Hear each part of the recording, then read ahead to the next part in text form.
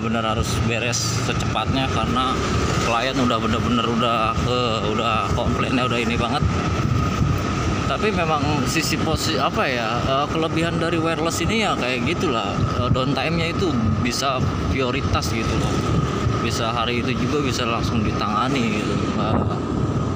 Seperti yang lain yang menentukan waktu satu sampai tiga hari gitu kan.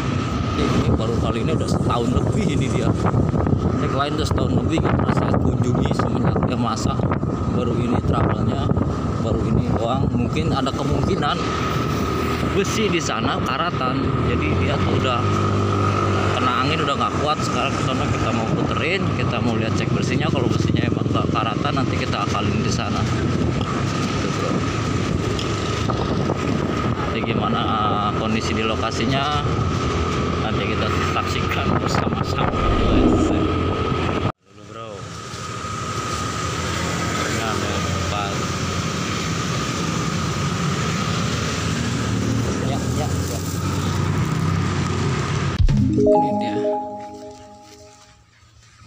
oh, ini alatnya ya? Ya gini lah klien kita itu dapatnya yang selalu disebar lagi alias RT RW ini.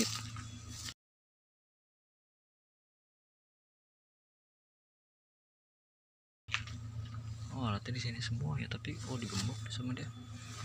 Ini towernya alatnya apa nengoknya ke belah sana harusnya ke sana. Lah ilah ilallah eh lu nge- ngencur ke mana wae bengkak tar lu.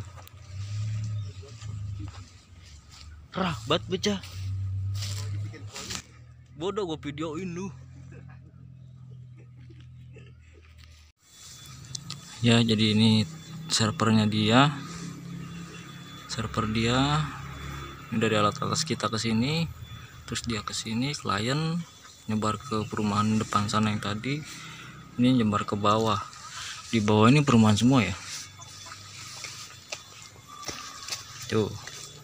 Sepertinya dia nyebar ke alas ini semua. Ya. Mantap. Nah kita perbaikan dulu. Itu posisinya. Dia nengoknya ke sono harus arahnya ke sana ini ke sana. Mungkin karena angin ya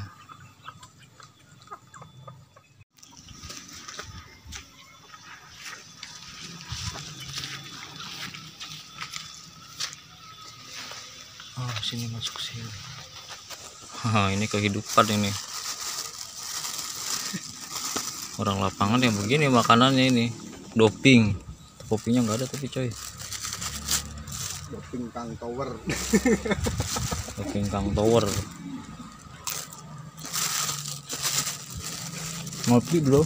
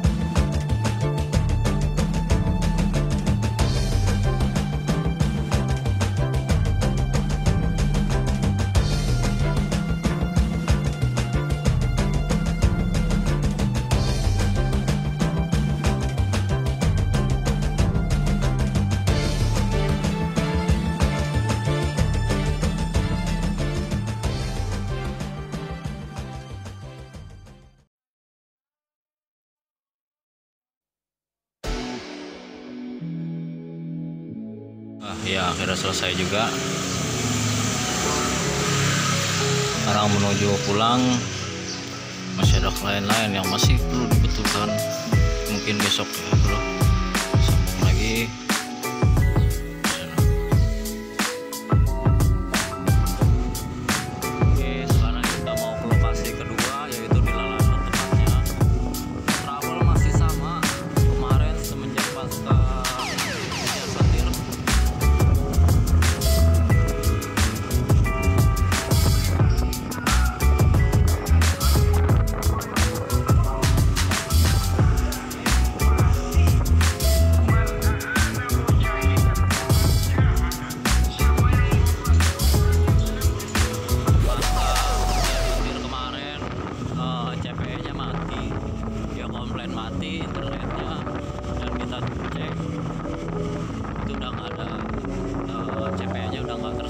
capek ya, gitu. Kemungkinan indikasi indikasinya mungkin kena petir nggak tahu dari yang kena petirnya itu.